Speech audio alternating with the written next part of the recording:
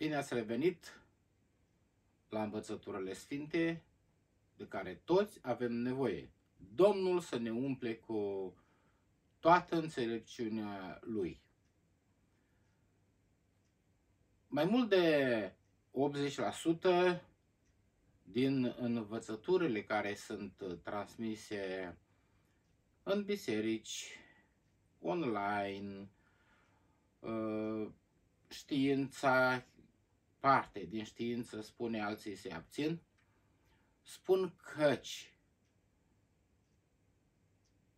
uriașii au uh, fost născuți prin uh, încrucișările dintre îngerii căzuți și fete ale oamenilor.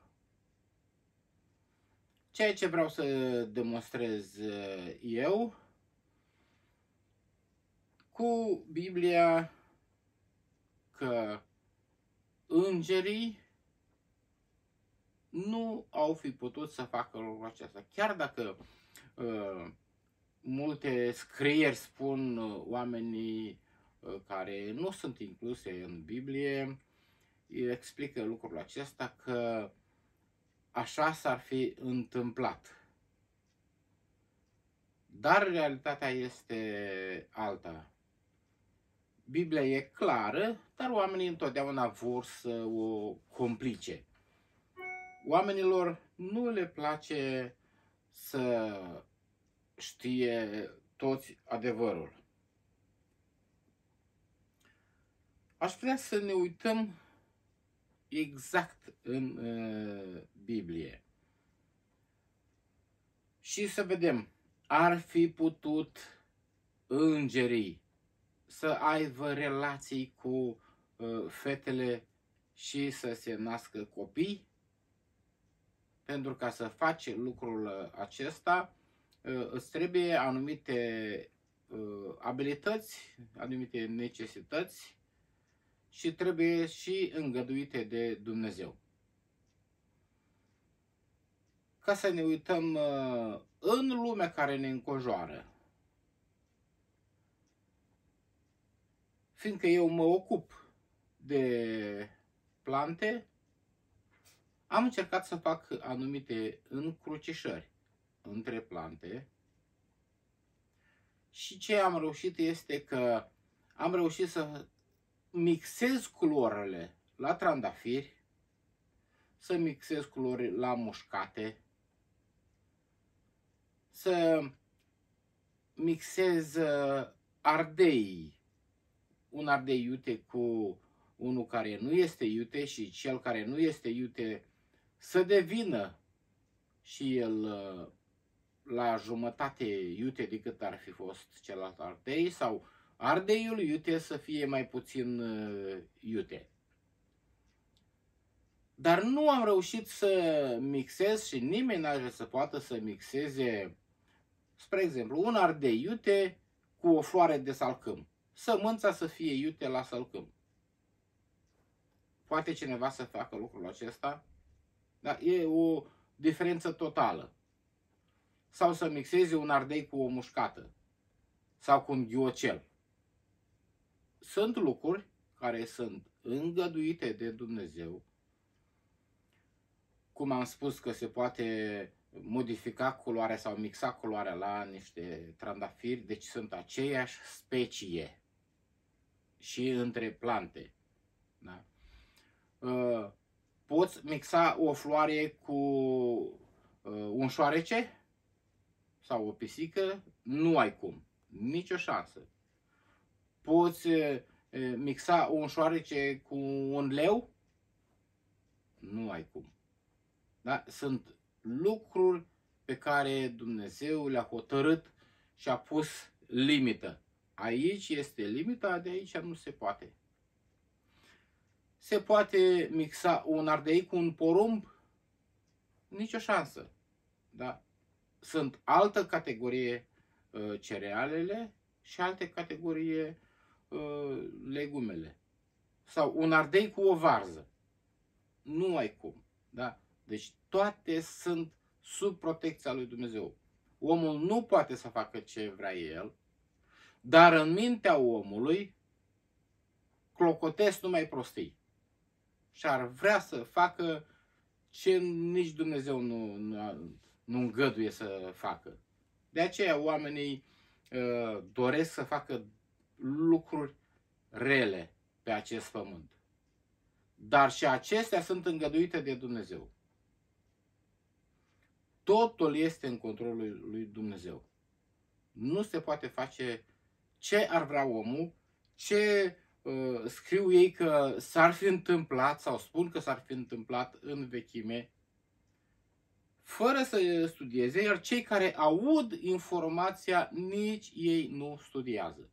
Nici ei nu pun mintea la contribuție și ia aceste informații ca wow, cred că este așa. E posibil, pentru că a spus, știu eu, cine, uh, ce învățător, ce mm, păstor, ce doctor, ce... Nu există uh, aceste lucruri. Toată istoria nu arată că s-ar fi putut uh, uh, mixa de pe Terra, să spunem, un animal cu un om. Să fi făcut, uh, știu, cum și în mitologie spune că erau uh, jumătate om, jumătate cal. Și erau aceștia foarte puternici. Dar mă gândesc, ce trebuia să mănânce, uh, că era cap de om, jumătate trup de om, uh, ce trebuia să mănânce omul ăla și cât trebuia să mănânce omul, mă refer parte de om, ca să hrănească tot calul din urmă. Nu? Adică să gândim lucrurile uh, logice. S-ar, trebuia să mănânce iarbă uh, și s-ar fi tocit dinții de la atâta mâncat cât mănâncă un cal. Cine nu știe, calul mănâncă foarte mult și cereale și mănâncă grăunțe, grăunțele și uh, grâul și orzul, ovăzul, așa cum este el, uscat tare. Nu s-ar fi putut să fie așa, dar oamenii au uh, desemnat în, în mintea lor lucruri imposibile.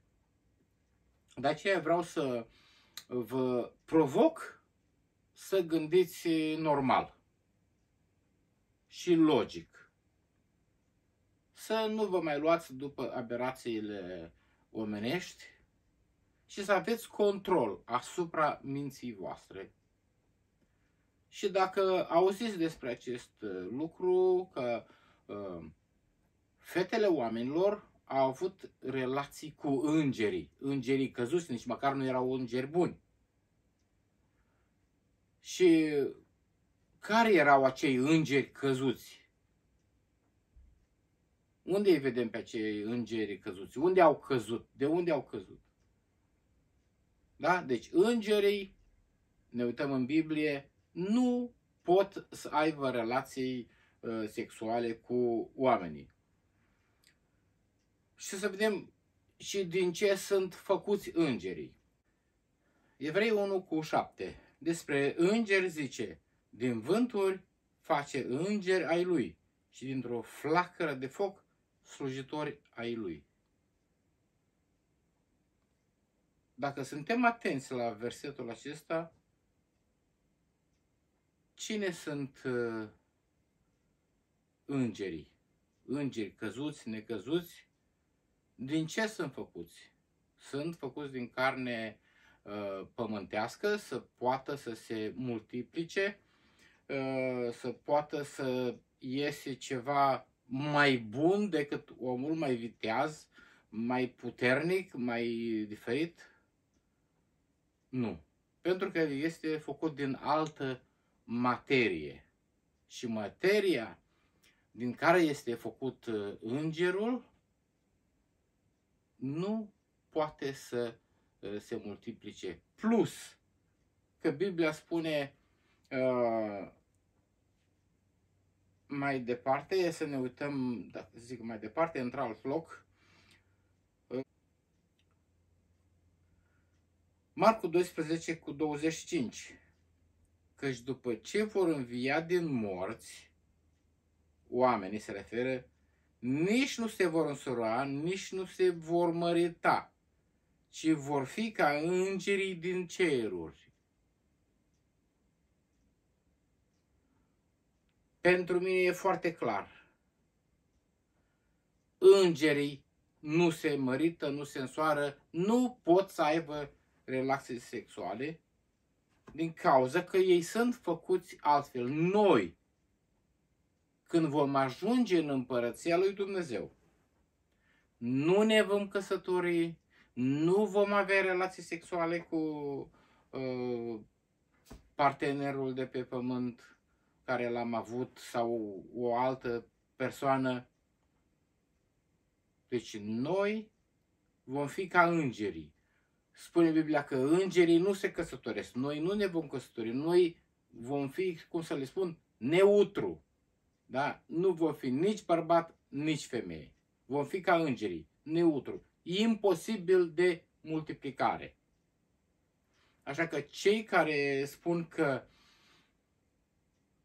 s-au multiplicat cu îngerii căzuți sunt pe cea mai grea pistă posibilă. O învățătură, nu știu cum să o numesc, dar nu pot să o numesc uh, bună, eronată.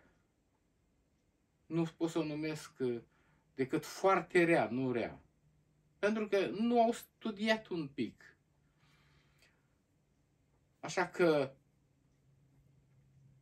cine sunt uh, persoanele care au ieșit din uh, aceste încrucișări? Cine au fost persoanele cu care s-au încrucișat? Pentru Uh, aceasta vom vorbi la uh, următorul uh, filmuleț, pentru că am depășit cu mult timpul care l-am programat în mintea mea să putem vorbi. Dar dacă sunt învățători sfinte și corecte, sunt pentru fiecare dintre noi. Să ne vedem bucuroși la următoarea filmare cu subscribe cu comenturi, like-uri și bucuria Duhului Sfânt să fie peste voi toți. Amin.